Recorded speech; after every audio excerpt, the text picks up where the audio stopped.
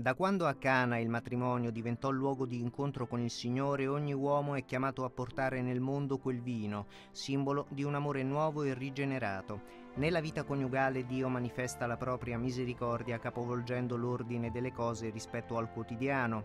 A questo mistero della salvezza il Pontificio Istituto Giovanni Paolo II ha dedicato recentemente l'incontro Il matrimonio, cardine dell'economia sacramentaria, per riflettere su come le nozze, il linguaggio del corpo degli sposi e il sacramento stesso del matrimonio illuminino l'intero percorso di crescita di ogni individuo, dando forma alla vita sociale. Ogni sacramento appare simile ad un riflesso di questa intima unione tra gli sposi, santa quanto il legame tra Cristo e la Chiesa, come ci spiega Suor Suor Alexandra Di Riart, docente di sacramentaria al Pontificio Istituto Giovanni Paolo II.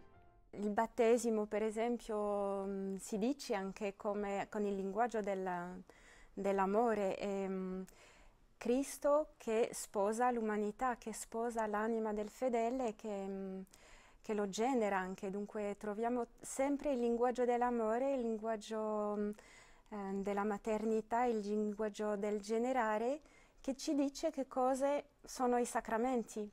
L'Eucaristia è stata sempre anche vista dai padri della Chiesa come, non so, il bacio nuziale, come la, la consumazione nuziale.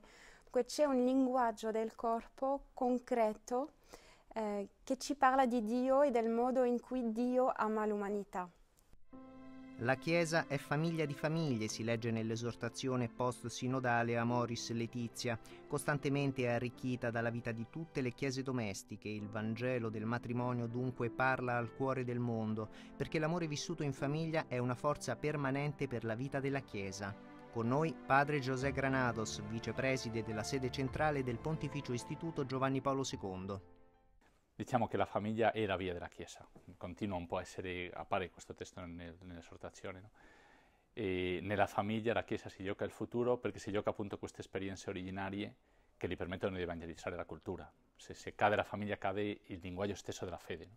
Penso che questo si vede con forza come un dire dobbiamo prenderci cura della famiglia per portare eh, nella famiglia il Vangelo. Cioè, questo mi sembra che la grande preoccupazione, come ha detto al ritorno, al rientro del via di Santa, portare Cristo alle famiglie. L'amore nel matrimonio genera così uno spazio sacro in cui la differenza non produce disuguaglianza, dove il più debole non viene escluso e ci si apre alla vita. Ancora suora Alexandra di Riart. Perché c'è un linguaggio um, dell'amore che alla fine è il linguaggio um, umano basico di cui tutti abbiamo sette che uno sia cristiano o non cristiano, penso che ha sete di, di questo amore, perché la Chiesa è un tesoro che è sconosciuto, che magari mh, mm, è ancora troppo lontano e penso che mh, mm, tutto lo sforzo di Papa Francesco è di, come dire, avvicinare mh, questo tesoro per renderlo mm, una cosa concreta nella vita di tutti i fedeli e anche degli altri.